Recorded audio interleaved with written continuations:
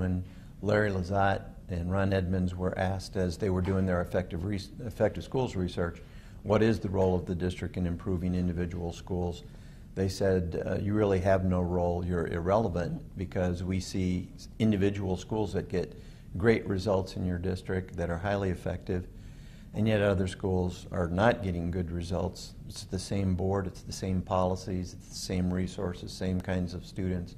So clearly, whatever you're doing at the district level isn't causing improvement at, at the schools. Um, Larry said that over time they came to recognize that they were mistaken, that the district did have a role and could um, help implement improvement, not just in a school here or there, but all across the district. So we wanted to demonstrate that too, that uh, there are districts where every single school in the district was showing dramatic improvement because of some of the things district leadership was doing.